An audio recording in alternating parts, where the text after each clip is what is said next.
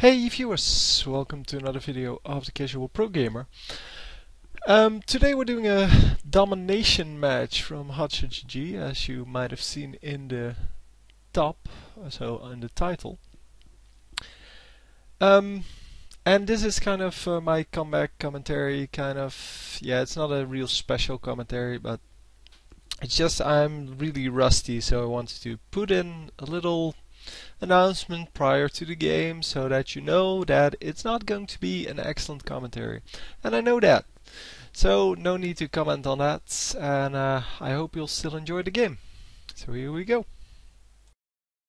Hey viewers, welcome to another game with the Casual Pro Gamer.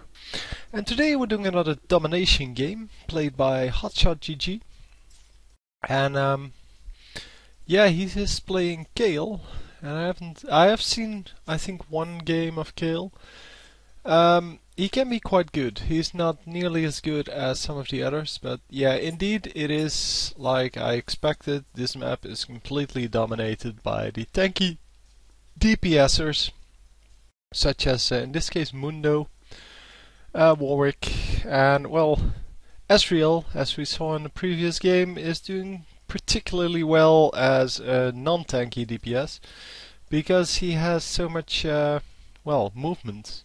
He, he can teleport around and things like that.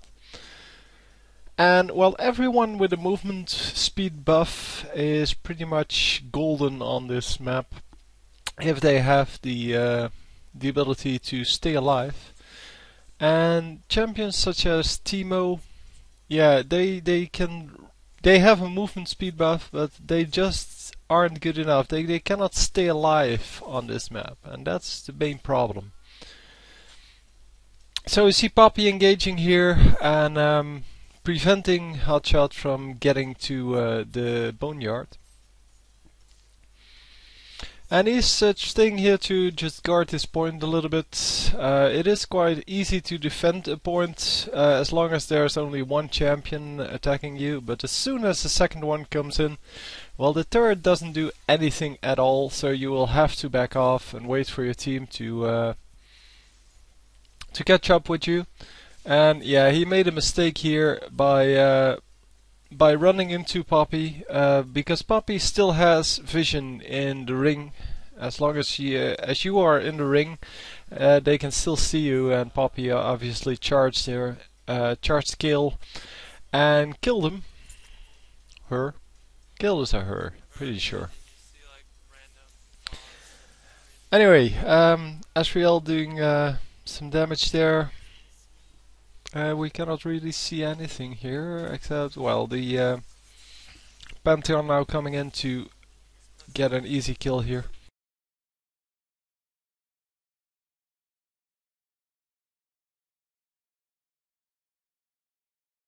So Kayle just uh, protecting this point and getting some last hits on the minions. And not really concerned with uh, capturing any points at this moment. They are behind 3 to 2 and uh, they are still a little bit ahead in, uh, in Nexus health. But that really is a matter of seconds and that's not going to work out for them in the end. So Poppy once again coming in with the aggressive style but this time not getting anything done, not even getting the stun. Uh, the health relic or whatever it's called, health pack, it's already gone. So going for the movement speed here and getting out of there. But Rammus coming after her, getting us a, well, I guess it's a mini stun or something like that. I don't know.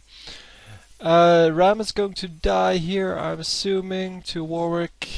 Yeah, there we go and Kayle just running away while everybody else is just uh, chasing after them. and Poppy staying in a little bit too long here, uh, but yeah, Ezreal coming in to, to do some damage, and they might actually pick off the kill. Yeah, there's nowhere to run here, so he's going to die. Oh, picks up one of the health packs and now it's going to die. Yeah, there we go. So they are going to uh, lose the bottom left but gain the bottom right point. Oh, actually Warwick defending the bottom left point and the bottom right point's just been neutralized. There's nobody there to capture it and three of the enemies just captured it. So it's now 3 to 2 in their advantage. They're a little bit behind now in Nexus health, but well, same as uh, before, it's just a matter of a few seconds and then it will be alright. So Mundo with the with the cleaver uh, doing some nice poke and he has a movement speed buff as well as a uh, well the tankiness built in basically. So he should do pretty well on this map. Pantheon just jumping in while uh, Mundo takes out the, uh, the, tower.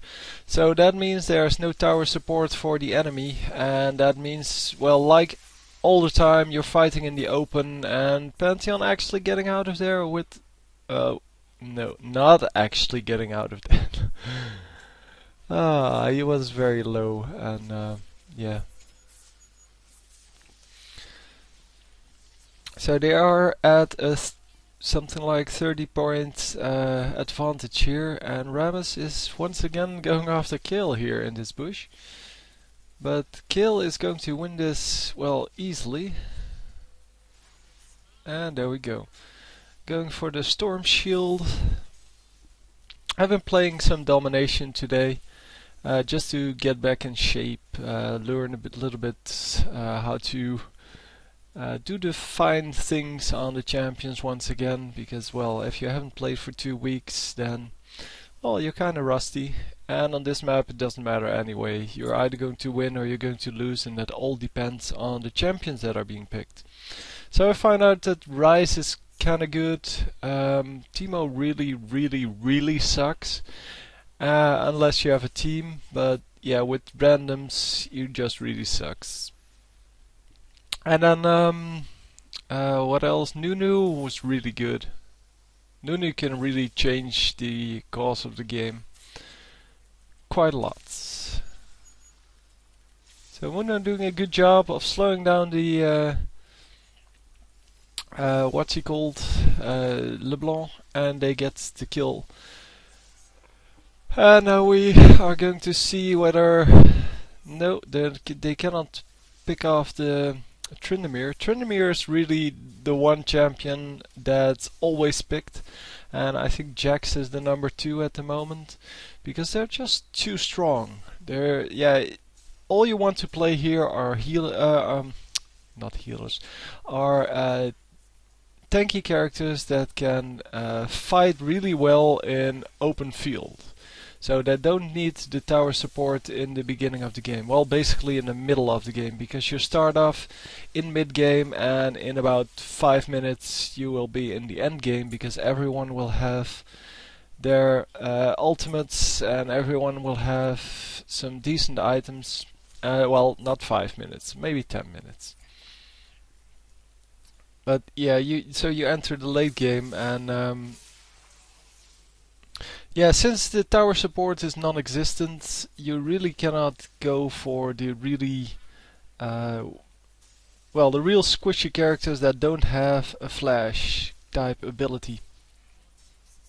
And then, well, ability-wise, well, uh, source, uh, uh, summoner skill-wise, I'm not really sure what the best ones are. Uh, I see a lot of flash, um, just like on Summoner's Rift. I don't see a lot of uh, of ignites, but yeah, why would you need ignites? The whole game is about 1v2 or 2v1ing your opponents. And um, yeah, Tryndamere coming in here to do some damage but doesn't want to uh, to engage any further than he already did because he lost a lot of health in that. Kayle apparently really strong, but that was also due to the uh, Hextech Gunblade.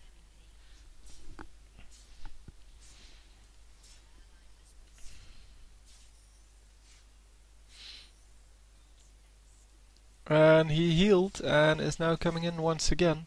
But Kayle is just out of turret range and as I said, turrets, uh, well the tower uh, protection is non-existent so basically as long as you sta stand out of the range you have no problem. And you can just neutralize it by capturing the turrets, especially if you have two champions there like they have here. One of them can uh, can right click the turret and the other one can kill the champion. And that really works well if you have a coordinated team, a team of people who actually understand how to play this game. And um, yeah, that doesn't ha happen a lot, but if you do get one of those teams, then it is really easy to uh, to get these things going. So as you can see, the LeBlanc dies immediately and couldn't really do anything, even though she does have um, she does have a flash-like ability, so that's why she's still viable on this map.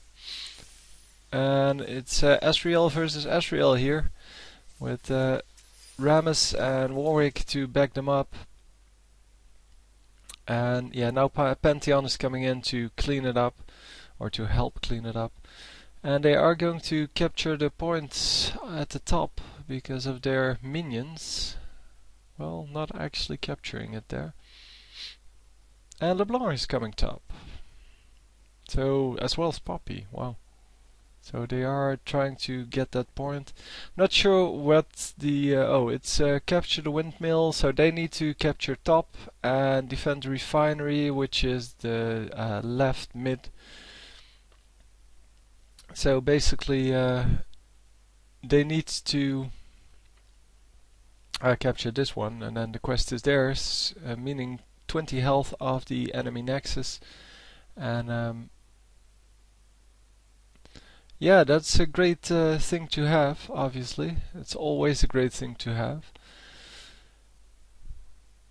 So they kill Poppy and they kill the other guy, I don't even know who that was, or Rammus. So, and they get the point and the 20 points of the enemy nexus.